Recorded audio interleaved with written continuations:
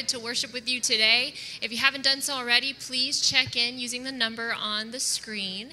And uh, don't forget your communion items. And uh, with that, let's go ahead and stand and worship together.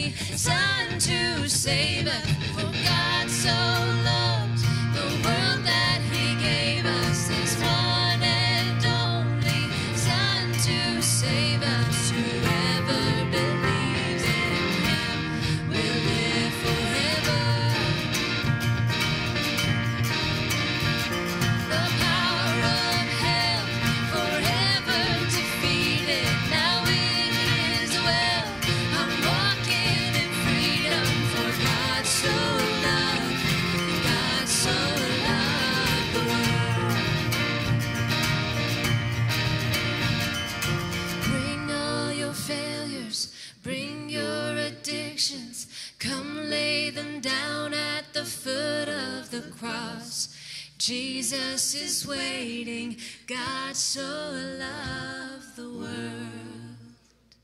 Amen. I love hearing this church sing. You guys sing out, and it's so such a gift for me personally. Um, on just up here hearing you guys, it's it's really beautiful. Now, this next song I know you guys will know and love. It's an oldie, an oldie but a goodie. It was my grandfather's uh, favorite hymn.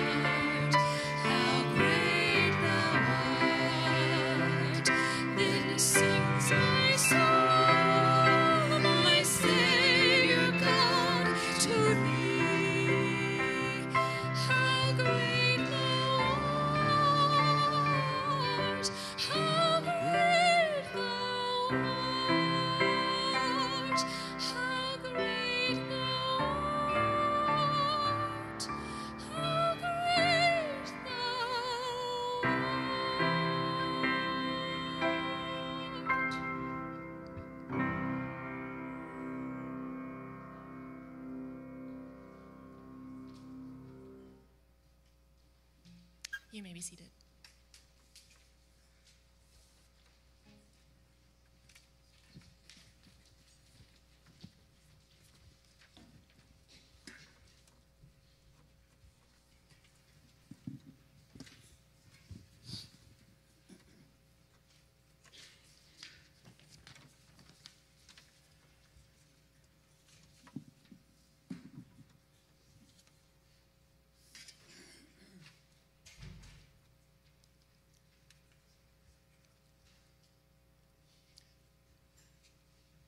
The Lord Jesus, on the night that he was betrayed, took bread, and when he had given thanks, he broke it and he said, This is my body, which is broken for you.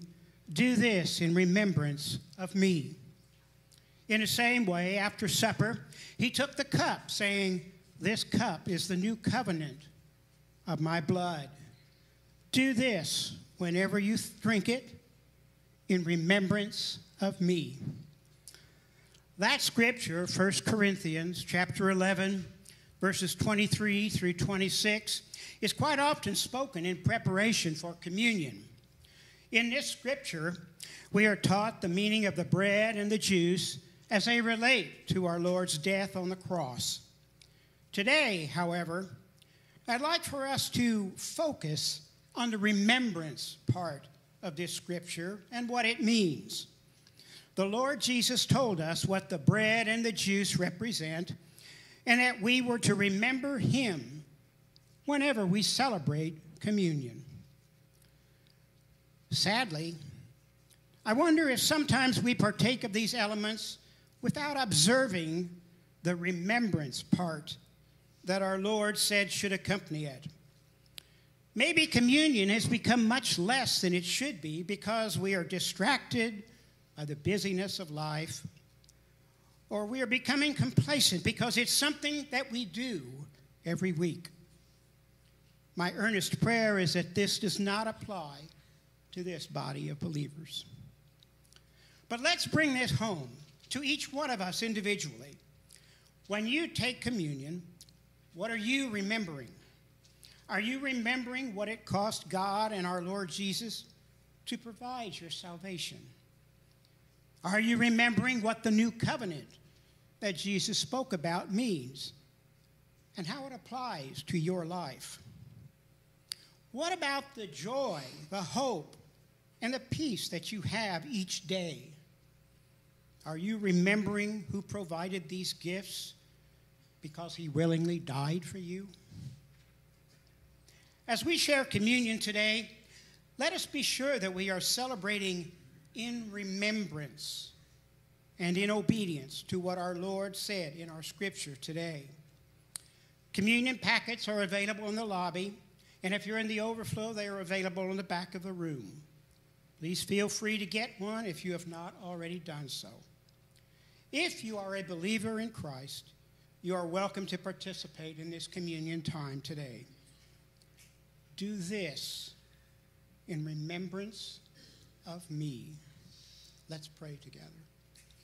Father God, we thank you for the incredible gift that you gave us of your Son, for the salvation that he provides to us because of his death and his resurrection. Father, help us to never forget what it cost you and your Son to provide our salvation. Help us, Father, to always take communion in remembrance of you, in remembrance of what you did for us.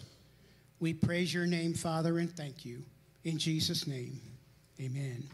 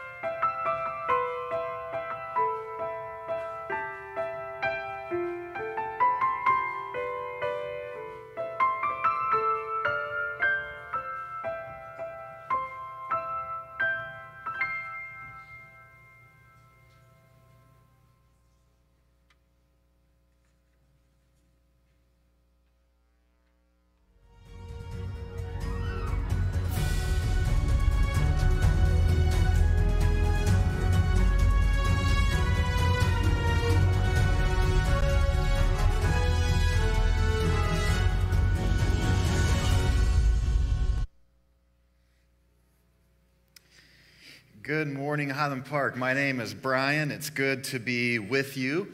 Uh, we just rolled back in from a little bit time away, and uh, my, my oldest daughter, Sharabi, and Jason and his son, Ian, and I marched down to the bottom of the Grand Canyon and made it back out uh, after several days uh, that were just fantastic. And then got to vacation with my family uh, for a little bit away, and I managed to actually do no work for eight days. And, and um, that's, you know, it's, it's, important. That's some Sabbath time, uh, with the exception of there was this one moment, there was only one moment at the bottom of the canyon where we got cell reception, and I was turning my phone off and on to save the battery. If I wasn't taking a picture, it was off.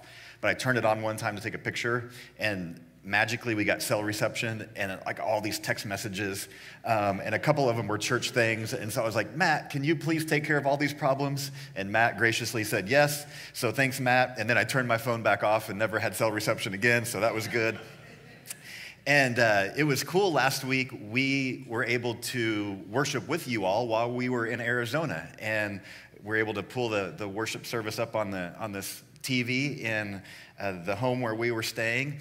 And because I want to outdo Haley, uh, I'm going to have to have Dave and Matt come both stand on my shoulders and do what she did with her son. Um, last week. And I think Dave could do it because, as you know, he's now known as Spider Man. Uh, I'm really was uh, I'm glad Dave is better. If you did not know, Dave had a spider bite that landed him in the hospital and he is wearing a Spider-Man shirt underneath this shirt, and so maybe in the lobby you can you can see the Spider-Man shirt again. Uh, but it's good to be to be back with you. Through the month of June, we're going to explore four big life lesson themes that we all need to know and take to heart. Did you hear what I said? Because I have a problem that you probably have sometimes people say things and I do not listen. So, theme number one, life lesson number one is to listen. We want these to not only be life lessons, we want these to be things that we practice intentionally all summer and beyond. And lesson number one is learning to listen. On August 10th, many years ago, a frustrated man elbowed his way through um, the hallways that were crowded and found his way finally elbowing into the office of the man who bore the brunt of his frustrations. The man elbowing was named Frederick Douglass. The man in the office was named Abraham Lincoln, and Douglass was angry. Douglass was angry because he had been working like crazy to uh, uh, enlist black soldiers into the Civil War effort, and, and yet these soldiers who were sacrificing the same, if not more, were not being paid as much, not being housed in similar conditions, not being treated fairly. And Douglass was going to let Lincoln have it, and he did. But something happened in that moment, in that time, when Douglass said those things to Lincoln, Lincoln listened. And Douglass listened. And what was formed out of frustration became a lifelong friendship. It wasn't a friendship that lasted very long because Lincoln's life would not last long, but it was a friendship that actually changed minds. And I want to explore this biblical theme today of listening connected to persuasion. Those two things often go together. And we all want to persuade, right? We, we want to persuade our kids to you know, do what we want. We want to persuade people to think like we think. We want to, all of human beings, we like to persuade people. We don't so much like to be persuaded but we really should hope to do both. And both of those things, in their healthiest form, are rooted in listening. And so I want to preach from a text I preached from three or four years ago and want to do so again today because I think it, it's so important to this concept of listening and persuasion. So, if you have your Bibles, turn to 1 Samuel 19. Let me give you a summary context of what is happening. There's a guy named David. He is growing in reputation with military victories. He's going to be the next king.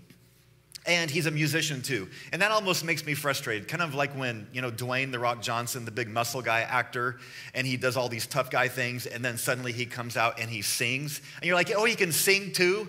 I mean, he, some guys just get all the luck. And David can do all of these things, and his reputation is growing. And the king at the time is named King Saul. He starts a good king and turns into a bad king. And his, he becomes so jealous and envious of David uh, and has these like these rages where he even tries to kill David. He throws a spear at David trying to kill him. Can you imagine trying to play the violin and having somebody throwing a spear at you? I would be a little off key at that point. But David has eluded his death threats a few times and he realizes that Saul is coming after him and he he meets up with his best friend Jonathan twist to the story happens to be Saul's son. I mean, it's complicated, it's dramatic. And that's where we come to chapter 20. And I want to begin reading. David now fled from Naioth to Ramah and found Jonathan. What have I done? He exclaimed. What is my crime? How have I offended your father that he is so determined to kill me? That's not true, Jonathan protested. You're not going to die. He always tells me everything he's going to do, even the little things. I know my father would not hide something like this from me. It just isn't so. Then David took an oath before Jonathan and said, Your father knows perfectly well about our friendships. So he has said to himself, I won't tell Jonathan. Why should I hurt him? But I swear to you that I am only a step away from death. I swear it by the Lord and by your own soul. Tell me what I can do to help you, Jonathan exclaimed. When David says, Your dad is trying to kill me, Jonathan at first dismisses him. This is an example of not listening at all. He says, It's not true. It isn't so. My dad's not trying to kill you. You're just overreacting. It can't really be that bad. It was impossible in that moment for Jonathan to believe that his dad could be conspiring against his best friend. Never mind the times that Jonathan already knew his dad was capable of such things. Never mind the fact that he knew David to be a man of integrity, his best friend he trusted. And yet, when he hears those words from David, something is discombobulated in him and he refuses to listen at first. See, when we say it isn't so, we flatly reject both the problem and the person. And it's easy to say it isn't so when you're not the one having spears thrown at you. But when you're the one dodging spears, you realize maybe it is so. Our, our tendency is to defend our family, our friends, our tribe, or our traditions, or what we've thought if we naturally dismiss the words of trustworthy people when it conflicts with our own loyalties or experiences, that's kind of the it isn't so mentality. It isn't so equals get over it. You're exaggerating. I will not be persuaded. I will not listen to you. And how many times have we dismissed someone saying that they were being harmed or mistreated or in danger? And we said, it isn't so. It's not all that bad. Because my school gave me opportunities when, my, when I was little, I'm sure you've had the same educational opportunities. Because my family had opportunities or safety and security, I'm sure your family has had those same things. My beef with Jonathan is that he failed not only to listen to someone in distress, he, list, he, he failed to listen to his best friend who is in distress. That should tell us something about the human inclination to not want to listen to tough news. We would rather just, you know, I, have told you before that uh, I, don't, I don't play golf a ton, but when I do and I hit a bad shot, my everything within me, and it happens about half the time, is to not watch the golf ball. I'll get up, and slice some driver that's going 200 yards the wrong way. And my first thought is just to look away, look down, thump the ground, whatever. And when is the time that you most need to watch the golf ball? when it's not straight down the fairway. Kevin hits a few of those, but when I hit it, it goes sideways, and I should be watching where it goes. And I don't want to, we don't want to look at our own failure. We don't want to see the bad news. And this is what Jonathan does to David. But thankfully, we read on, we read the rest of the paragraph, and Jonathan does what few did. He changed his mind. He, he listened to David. David kind of takes another run at it. It's kind of like, okay, you dismissed me the first time. Let me try this again. And he, he explains it again and he's passionate about it. And this time, Jonathan listens.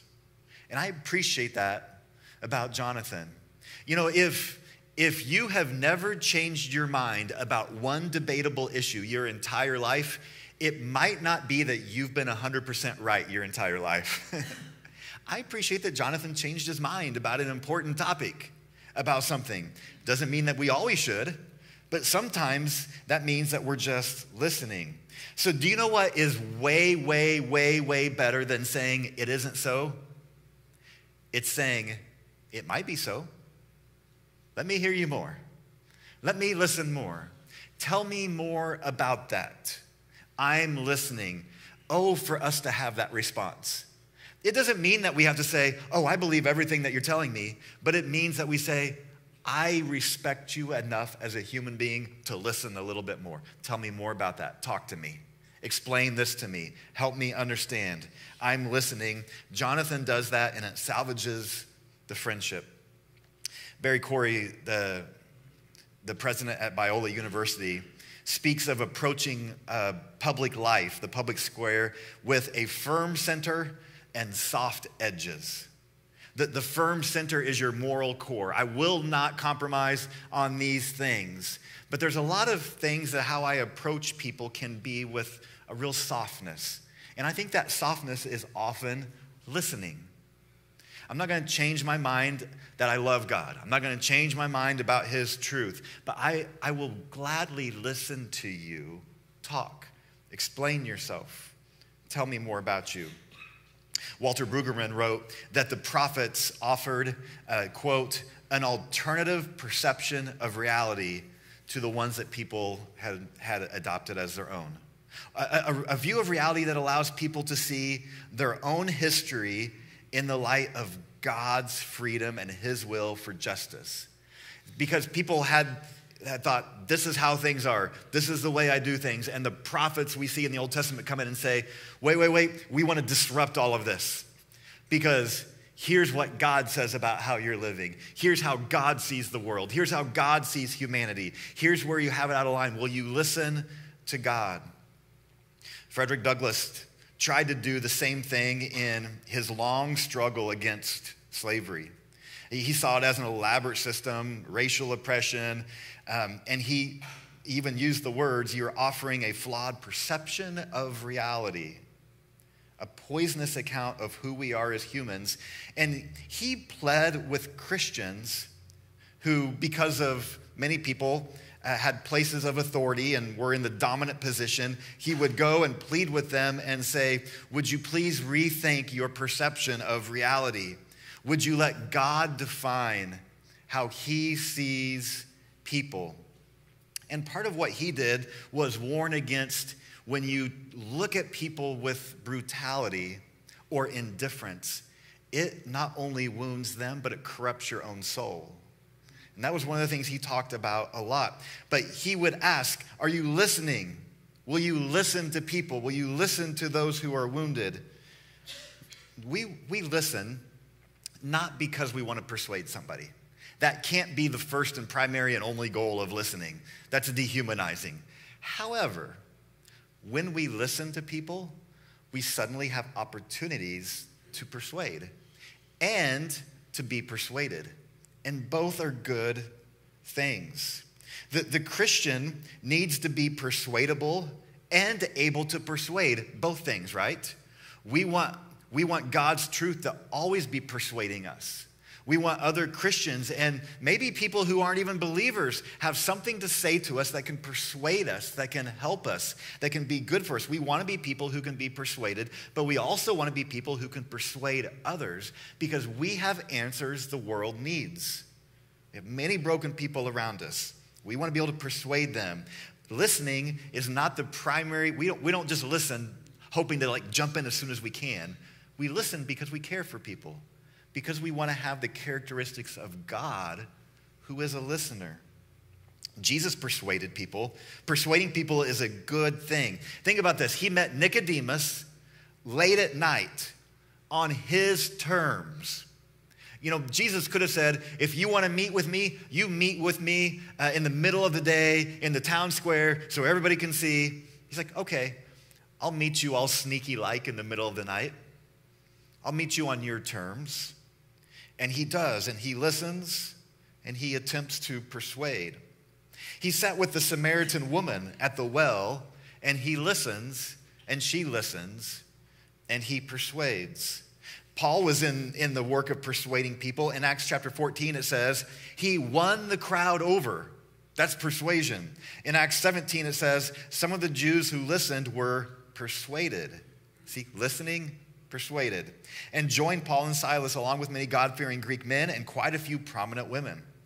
Acts 19 says, But as you have seen and heard, this man Paul has persuaded many people that handmade gods aren't really gods at all. Acts 26 says, Agrippa, he was a king, interrupted him. Do you think you can persuade me to become a Christian so quickly? Paul tried.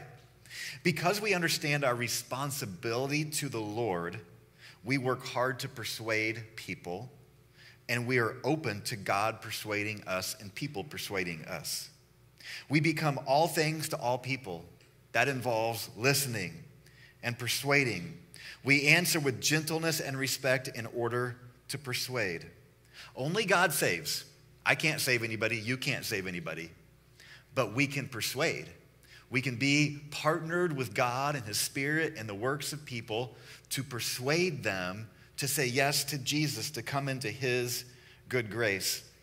One of the things our family did that was really fun this last week was we, we did a kayak tour. So we had a tour guide that led us on this little kayak adventure into this canyon.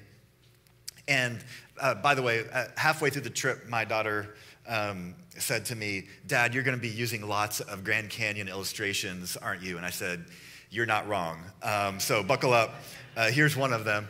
Um, uh, our tour guide for this little uh, kayak tour that had my family, including my youngest 13 and my parents in their young 70s, um, his name was Zach. And when I called, they said, Tell us about your trip. And so I had a chance to explain here's our family situation, here's what we're thinking about. Um, we heard that on Memorial Day there's lots of boat traffic, and I don't know that I want to be in kayak amidst lots of speedboats going by. And they're like, We hear you. Here's what we suggest. We can do Tuesday. We can do really early in the morning, or Wednesday, really early in the morning, before the wind kicks up, before the boats get out, and we can go here, and it's not quite as far as here. And then we got there, and, you know, Zach, our tour guide, was excellent. He showed us here's how you hold the paddle correctly, here's where you want to go. We noticed he always could see all of us. He would always be in position where he could see everybody, even around rocks. He was really funny and he had lots of information. He told us lots of little fun facts about things. But you know why I was thinking why we really like Zach? Because he actually just spent lots of time listening to us. He would ask questions. So tell me about Tulsa. What, what, what is there to do there? What do you guys like to do there? Tell me, uh, have you gone on hikes before? Tell me about this. And I realized that he got to know everyone's name in our group immediately, and he asked every single person lots of questions and listened. And that's why we liked him. And I think we would have done what he said anyway, but it was really easy to do what he said because he listened. He was able to persuade because he was a good listener. And as Christians, we should never try to persuade people whom we have not listened well to. I had told you several weeks ago, one of my heroes, uh, Timothy Keller, passed away several uh, weeks ago, uh, was a preacher I listened to countless of his sermons. And one of the things I love about Keller was he moved to New York. He was not native to New York City, but he moved there and planted a church there. And he did not go to New York trying to just immediately persuade everyone and tell everybody, uh, hey, y'all have all these problems, let me tell you all the answers. He went with this attitude of listening. And it was, it was from Keller I got the idea years ago that about once a month I'll go over to Barnes & Noble and I'll look through the magazine section. Um, and I'll pick out a few magazines that I don't want to pay the money to subscribe to all of them because that's a lot of money. But I'll pick out a few magazines that maybe don't share my worldview, um, but maybe tell me something about culture. And I'll sit down and I'll just kind of thumb through them, and, and sometimes I'll find an article. You've heard me quote Psychology Today a few times. It's a big magazine, and sometimes there's some little nuggets of stuff of like, oh, this is how the world is thinking about this issue. Maybe there's something to learn. Keller did this all the time. He was always reading so that he could learn to understand the people of New York. And as he learned to understand them and listen to them, he could realize, I understand better your brokenness here or your need here. Let me tell you how the gospel can interact with your life. Let me tell you about God's grace in your life. And you think that your problem is this, but actually your problem is something way deeper than that. Let me address this and tell you how the scripture, and that was the foundation to his whole ministry. He listened well. And as Christians, we should always have this attitude that's not combative with other people not combative with our culture, not this woe is me, everyone's against us. I don't see that in Jesus or in Paul's writing. I don't see that in, in the pr- great preachers of our day. What I see is a, a diagnosis, a listening, an empathy of you have lots of problems, and God is the answer to all of those things, and He will walk with you and help you. So we listen so that we can persuade then later. So a question then comes up if you try to persuade somebody of something and they don't listen to you at all, what do you do? I mean, we have this happen in personal relationships and in big relationships and in all kinds of things. If somebody says it isn't so, then what should you do? Can I just list three things I see from the text? Three things that we can do. It's David's response. Number one, if at all possible, stay in the relationship. Stay in the relationships that the Lord has given you. Try to do that. The person might come around. The person may have overreacted. The person might have reacted about something that even has nothing to do with you. But in some way, if you can, stay in that relationship because the way that we encourage and influence other people is by being in relationship with them, right? So if you can stay in that relationship, stay there. David physically stayed right next to Jonathan. He didn't just immediately run off and go away and say, forget you. He stayed there in the relationship. Number two, speak courageously and persistently. Even though he stayed, he said, hey, listen, this is so important to me. I'm going to try to tell you again. And he said, Your dad's trying to kill me. Please, my days are numbered. And so he speaks, he's courageous and persistent while he stays. Number three, speak gently. There's a way to speak courageously and persistently, but still gently. He doesn't call Jonathan a bunch of names. He doesn't say, hey, you blockhead, what is wrong with you? But he says, Jonathan, listen to me. He does all of these things. And I just think this template for us is good in our relationships. Stay in that relationship but speak the truth. Let people understand what's going on and do so as gently as you can because when we speak gently, we invite people to listen to us. Proverbs 25 15 says, Patience can persuade a prince, and soft speech can break bones. In other words, gentle speaking can move mountains right? We want to persuade people. We speak with gentleness. Proverbs 25 15 says, Patience, uh, that patience can persuade a, a prince, and you can persuade people, and that's listening and that's being gentle. The danger of an academic, and dare I say, even somebody who's super knowledgeable about the Bible and how to defend the Bible, Those are good things, and I want you to do all of those things and learn those things. But there is a danger that you could get to the point where you only care about winning an argument and not winning a person. And we're in the business of winning people. And so we need to treat them as people. We listen with gentleness and persuade. May the words of Lincoln be true in your heart with malice toward none and charity for all. That was in his second inaugural address. It's about a you know, weeks or uh, maybe a month before he was shot and killed. With malice toward none and charity for all. For the people who were trying to kill us, no malice.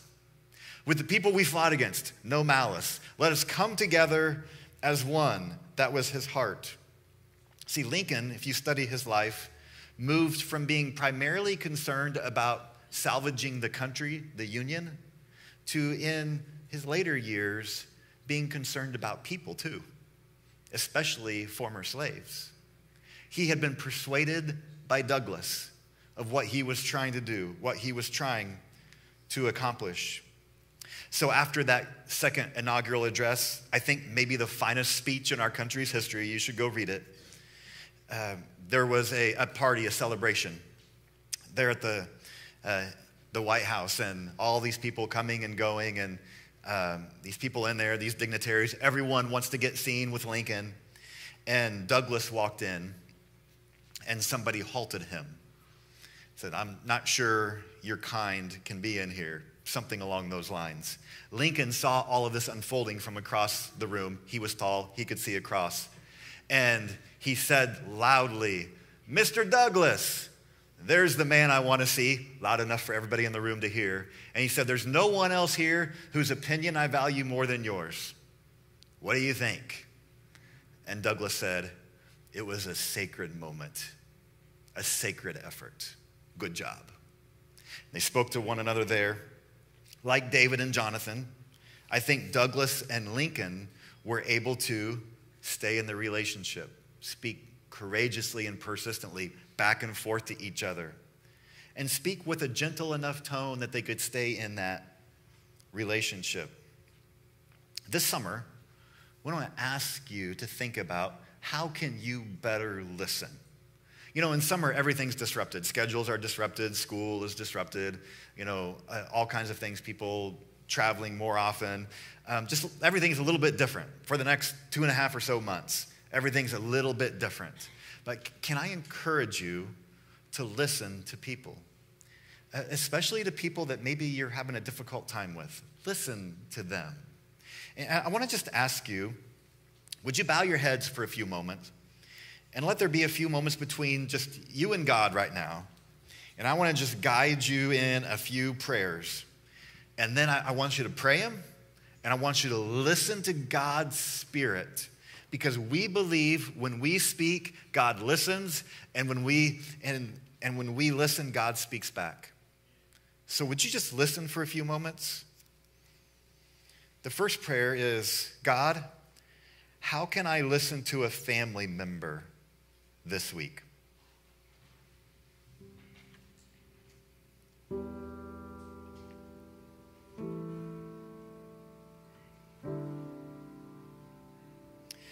The second prayer God, how can I listen to a neighbor this week?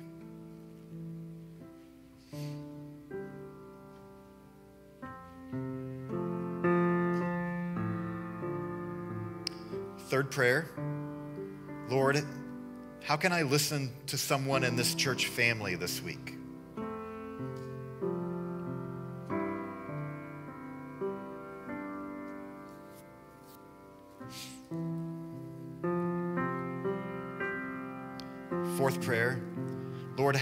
Can I listen? I mean, really listen to someone with whom I work or play or watch kids' activities or see in a walk or one of those people I casually see and maybe have never really listened to. How can I listen to them this week?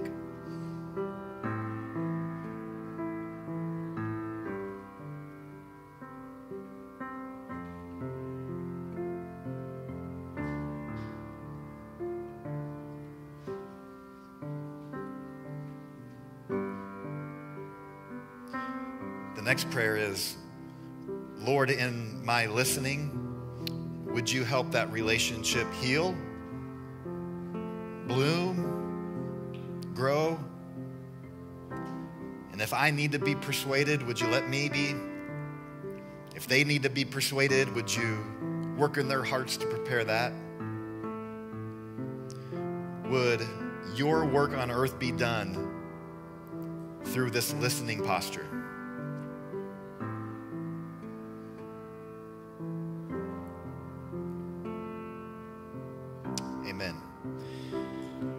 Let this be a listening summer. In doing so, it will be easier to be slow to speak. It'll be easier to be slow to anger. And best yet, when we take a posture of listening, it's not that you hear from me or the person next to you. You, you do all of that. But when we take a posture of listening, we hear from God. So let's let this be a summer of listening to God. You know, we're pretty unique here. We have this faith that, that says God loved us and created us and cares so much for us that he listens to us. Even in our foolishness, he hears us. Even in, even in the things that we complain about, he wants to listen to you. And in our best moments, we are quiet and we listen back. For the next few moments, uh, we're going to sing a few songs. And if maybe you have not been listening to God, and thus probably listening to others, and you want to just ask for prayer about that, I would love to pray with you here at the front. And, and maybe uh, you just need to sit quietly while we sing and say, God, I'm listening to whatever you want to say to me right now. I'm gonna, I know I've not been listening for a while, but I'm listening right now. I want to encourage you to do that. If you're worshiping online, we, we want to encourage you to just pause where you are too. Would you listen to what the Lord is saying to you? He speaks to us. So let's listen. God, we, um, we invite you to speak. We're ready to listen. In Jesus' name, amen. Would you stand up with us?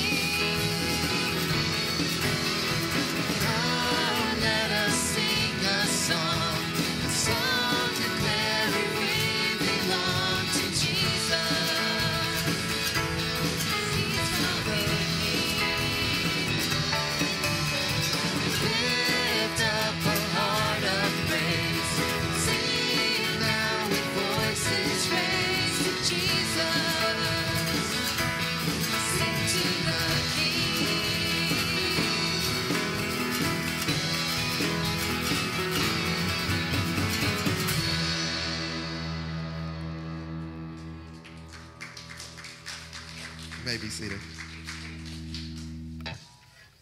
Sunday, we have an opportunity uh, to give. And uh, this morning, if you would like to do so, don't feel pressure if you're a guest, but uh, this is part of our worship time, and it's an important part of our worship time. If you would like to give today, there's a blue box in the back, uh, uh, walking out of here or walking out of the overflow, or you can give online safely and securely. In all of our years of online giving, we have not had any kind of issues uh, with that, and so we encourage you uh, to be part of that every time that we give. Um, we give uh, not for us, but we give and we say, Lord, we trust you with this money to do better with it than we could do on our own. And so we want to ask the Lord uh, to bless what is given today and to supply the needs of the church, okay? Lord, we thank you for your goodness and, and your love. And uh, Lord, we, we pray that for uh, everyone giving to support the ministry of Highland Park here, both locally and uh, which helps us care for people, young and old alike, and in our neighborhood and beyond, and even around the world. Uh, we pray for uh, our, our mission teams uh, all over the world that today you would give them peace and joy, uh, that they would be encouraged in their work, and that we could be part of that encouragement to them. And it's in Jesus' name we pray. Amen. Well, we're really excited today. We have high schoolers headed to camp this afternoon, so that's really exciting. And so be praying for our high schoolers uh, this week. And then next week, our junior high students uh, head out to camp. And so I just want to ask uh, the church for us to be praying for them. And, and I wanted to just close today by praying for our students who will be going uh, to camp. And, uh, and if you are a guest here at Highland Park, would love for you to stop by Connecting Point. It's right on your way out. Here, you'll see it if you walk out the main doors and to your right, and have some folks that would be glad to visit with you meet you, have a gift for you there. And so, would you just stand and join me, and, and we'll pray for our students and the other students that will all be at camp uh, uh, this summer. Lord, we know that through the years, there's a lot of people here who had their life. Um, changed or the trajectory of, of their life changed uh, through what you did during a week of camp. And uh, we pray for that sort of significant life change in the hearts of our students and all of the students from other, other churches who will be gathered at Sunset Bible Camp this week. Lord, we pray that they would come with a listening posture to hear from you and to one another. Uh, Lord, we pray um, for our uh, sponsors who will be there, and again from other churches, that you would give them health and energy and wisdom and love and patience and all of those things as they care for and shepherd our students. And we thank you for the camp. We pray for its leadership, and we're thankful for how it, served you for so many decades. And it's in Jesus' name we pray. Amen. You're dismissed.